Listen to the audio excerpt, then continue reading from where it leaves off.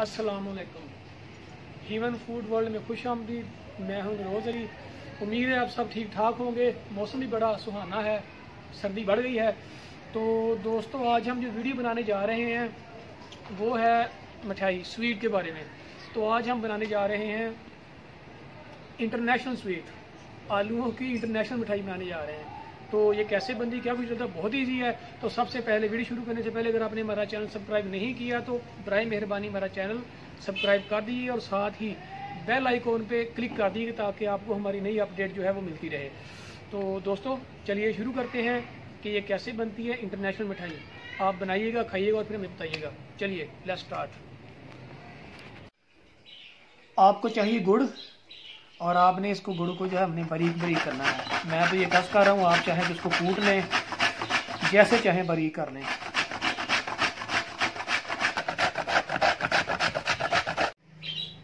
जी तो दोस्तों, हम आ गए हैं किचन में। तो हमें जो है वो इंटरनेशनल आलूओं की इंटरनेशनल मिठाई बनाने के लिए हमें जो चाहिए वो आपके सामने है। हमने आपको दिखाया ये गुड़ है। हमने इसको बिल्कुल ये बारीक बारीक कर लिया है। आपने गुड़ लेना है शक्कर होती है, हमने वो नहीं लेनी, गुड़ ही लेना है। और आधा किलो गुड़ है हमारे पास, और आधा किलो ये मैंने आलू लिए हैं, और हमारे पास ये मूंगफली है, हमने मूंगफली ये दाने निकाले हैं। मूंगफली है हमारे पास थोड़ी सी, और हमारे पास ये सफ़ेद तिल है। बस, ये चार चीज़ों से बनेगी। चलिए, शुरू करते हैं। जी तो दोस्तों, हमने पतीले में पानी लिया है, ये तकरीबन दो लीटर पानी हमने लेना है। अब ये बॉयल होने लग गया तो आपने ये जो हमने गुड़ था, बारीक किया हुआ, हमने इसमें हम इसको अब ऐड कर देंगे।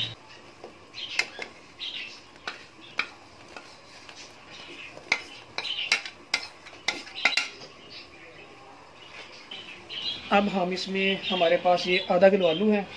तो आलूओं को आपने जो है, ये कटिंग बिल्कुल नहीं करनी, बिल्कुल ये साबित रखने हैं, और सेम साइज़ के होने चाहिए आपके पास। अब हम इसको ऐड कर देंगे।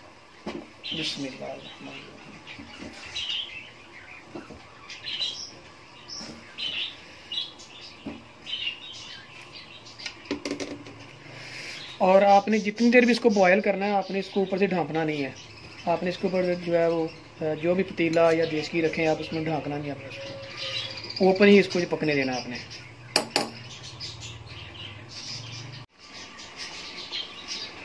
जी तो दोस्तों, ये बॉयल हो गए तो आपने इसको तकरीबन, हमने इसको बॉयल किया है अभी तकरीबन 10 मिनट किया है। तो आपने इसको 10 मिनट बॉयल करने के बाद आलूओं को इस पानी में तो आपने आलूओं को फ़िलहाल निकाल लेना है।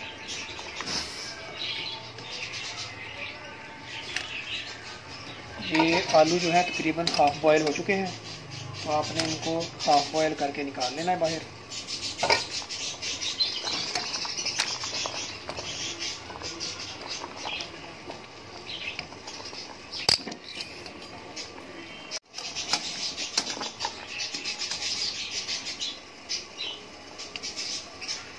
जी हमने भी 10 मिनट बॉयल करने के बाद आलूओं को बाहर निकाल लिया फ़िलहाल, और अभी हम इसको पकने देंगे।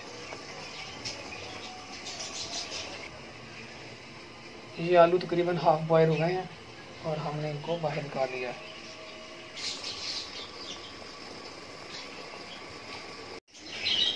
जी माशा पक रहा है। तभी जब आपको लगे ना ऐसा कि अभी बिल्कुल ये देखें कि ये लिक्विड बनने लग गया है, हमने इसकी बिल्कुल ये चाश तैयार करनी है, ये देखें। तो अभी ये थोड़ा सा पानी रह गया तभी हम इसमें दोबारा जो हमने आलू निकाले थे दोबारा ऐड करेंगे इसमें। हम इसमें दोबारा आलू जो है वो डाल देंगे।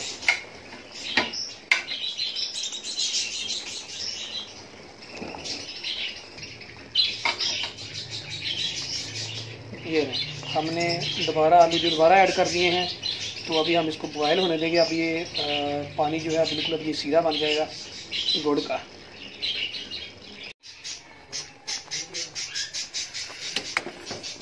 तो माशाल्लाह ये चास हमारी तैयार होने लगी हो गई है तकरीबन। तो आपने इसको बिल्कुल आहिस्ता आहिस्ता से इसको हिलाना है ताकि आलू जो गले हुए हैं बिल्कुल तो ये आलू टूटने ना पाए। बिल्कुल स्लो स्लो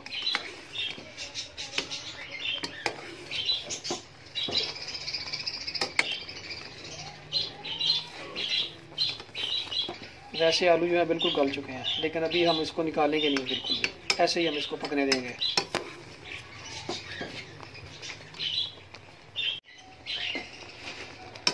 माशाल्लाह चास ये देखें।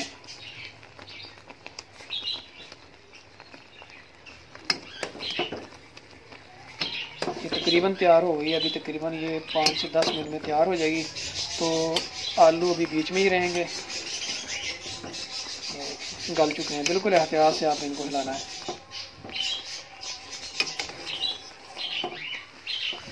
और आपको उसको हिलाते रहना आपने। इसलिए कि ये देखें। आलू ताकि नीचे लगें तो फिर ये जल ना जाए आलू।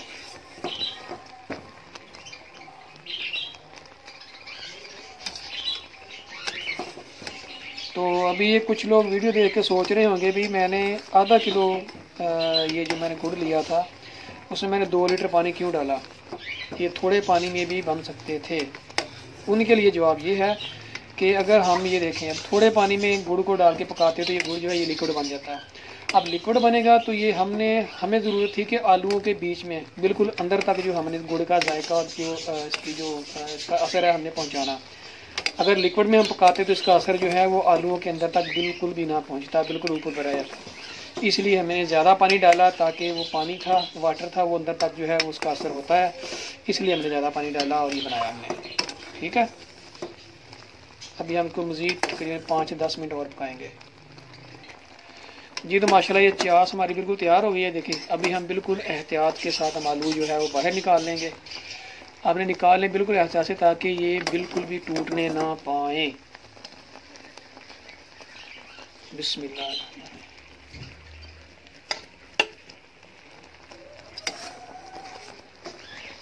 माशाल्लाह, बहुत शानदार लुक है इसकी।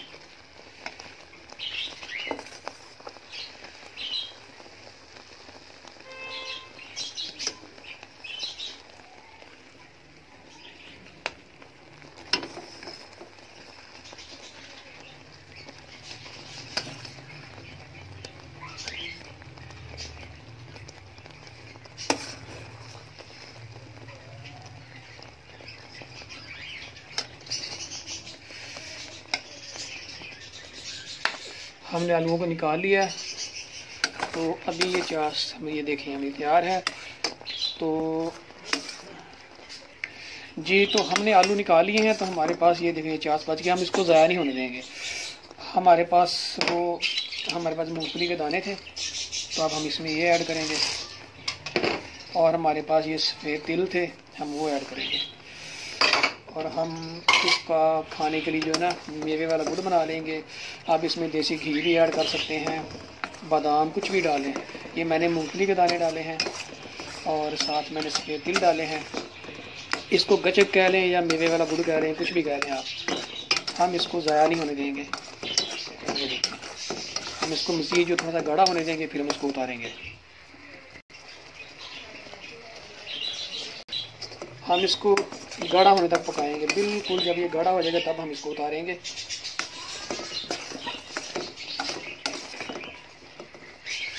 अब ये गाढ़ा है तो हम इसमें बराबर जो है, वो चमचा चलाते जाएँगे, बिल्कुल भी। चमचा चलाना नहीं छोड़ना आपने।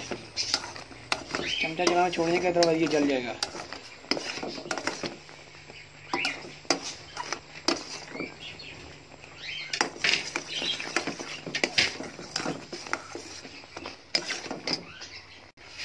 हम इसमें बराबर चिमटा चलाते जाएँगे। और बिल्कुल जो है, आग अपने बिल्कुल स्लो रखनी इधर। जलने ना पाए ये देखें।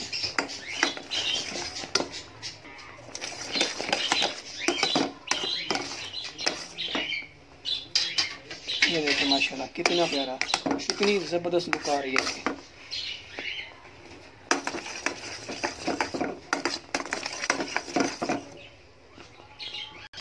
ये ले माशाल्लाह, तैयार हो गया, अब हम इसको चूल्हे से उतार लेंगे।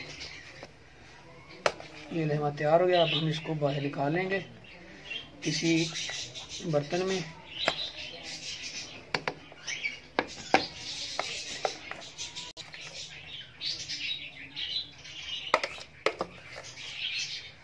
किसी भी बर्तन में आप निकाल सकते हैं कटिंग करने के लिए। तो हमने इसको निकाल लिया है। अभी ये खुश्क होने के होने पे हम इसको जो कटिंग कर लेंगे, और ये हमने जो आलू निकाले थे। तो अब हम दोबारा इसको कटिंग करेंगे, इसको ज़रा ठंडा होने दें। तो अभी हम इसको कटिंग कर लेंगे। आपने अपनी पसंद के हिसाब से जो है इसके कटिंग कर है आपने। जैसे चाहे कटिंग करें आप।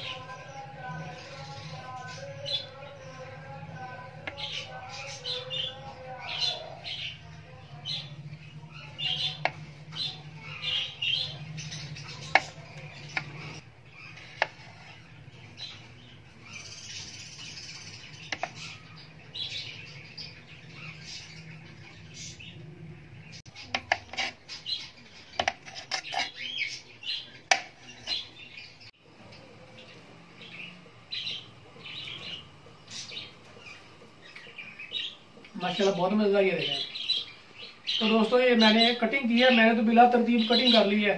तो आप अपने हिसाब से पसंदीदा टुकड़े जो है, इसको कटिंग कर सकते हैं। तो ये जी हमारी आज की वीडियो आलूओं की इंटरनेशनल आलूओं की मिठाई, ठीक है? आप भी बनाइएगा और मज़े मज़े से खाइएगा। यकीन करें, बहुत ही मज़े की बनी है। आप बना के जब खाएँगे तो मुझे कमेंट सेक्शन में ज़रूर बताइएगा कि ये हमारी जो आज की वीडियो ये कैसी थी, ये डिश कैसी बनी है। खाइएगा ज़रूर, और ख़ासकर ये सर्दियों में। तो अगर आपको किसी चीज़ की समझ नहीं आई, आप कुछ भी मुझसे पूछना चाहते हैं तो आप मुझे कमेंट सेक्शन में पूछ सकते हैं। तो मैं आपको वहाँ पे आपके हर सवाल का जवाब दूँगा। तो लिहाजा आप मेरे चैनल को सब्सक्राइब ज़रूर कीजिएगा, और मेरी वीडियो को भी लाइक कीजिएगा शेयर कीजिएगा, और मज़े मज़े की वीडियो देखिए। डिशेज बनाइए, खाइए इंजॉय कीजिए, अपना और अपने प्यारों का बहुत ज़्यादा ख्याल रखिए, मिलते हैं एक नई वीडियो में, नई रेसिपी के साथ, तब तक अपना और अपने प्यारों का बहुत ज़्यादा ख्याल रखिए। अल्लाह हाफिज़।